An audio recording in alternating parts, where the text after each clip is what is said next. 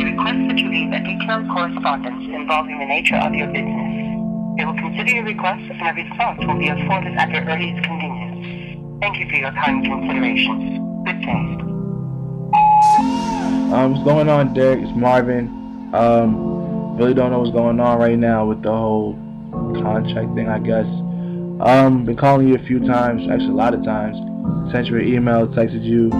You know, you told me you had bought the garden clothes and everything. Last time I checked, that's tomorrow, and I've heard nothing from you. So I just want to know what's going on. It's nothing, nothing too serious. I just want to know what's going on. Whether you still have plans on wanting to manage me or not. I literally just want to know what exactly, you know, where your head's at right now, man. So just give me a call, a text, or email, whatever way you can possibly hit me up, man, and uh, I'll definitely respond back and pick up the phone.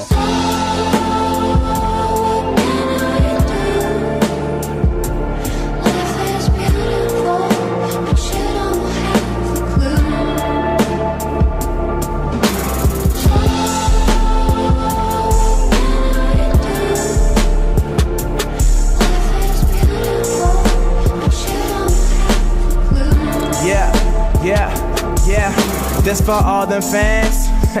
this state to state, probably thought that I went missing. I just had stuff on my plate. On this road, trying to be different, but also trying to be great. Fame has always been in my face. Now it's time I get a taste. My mom just flew from Nigeria to check on how I'm doing. Wasn't happy to know that I had no job and not at school. Made me promise I would switch it, so I got them summer classes. Four weeks later, feeling greater for the fact that I have passed them. Now I'm right back to this music, yeah, I'm right back to this money. Had a talk with my boy Justin. It's so good to see he's hungry. Man, last year my name was smoking, but this year I got the munchies. I deserve the whole world, and no one's gonna get it from me. Months ago I met a girl, I kinda think she's the one for me. Every other girl got curved, and they're the ones who said they love me. I won't say that they were lying, I'll just say it ain't the truth. Cause never trust a woman who's just way too nice to you. Yeah,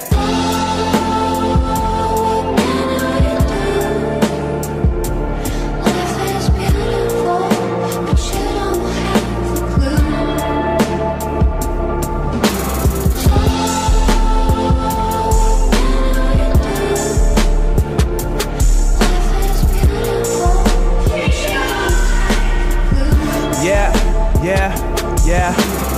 Fuck all of the managers who always hit my phone. Fill my head with empty promises and then leave me alone. If you knew you weren't gonna help me, why the fuck you even call? Slowing down somebody's progress should just be against the law. It's happened so many times, right now I only have my boss. Cause my words must not mean shit, cause these bitches still do me wrong. I'm just minding my own business, making music for the fans. All these people see is money, man, they just don't understand. Yeah, I'm not too hard to market, and my fans are super cool. But to think I'll be a target and get shot down by you folks It's why I'm still independent. Yeah, I'm breaking all the rules, and I'm about to break some records while I make them in the both. To the fans, yeah, I'm sorry for some shit that I put out, but I'll never say I'm sorry just for switching up my sound. Don't forget that I'm from London, EDM, I've always loved it, but it all comes back to rapping, and I put nothing above it, nah.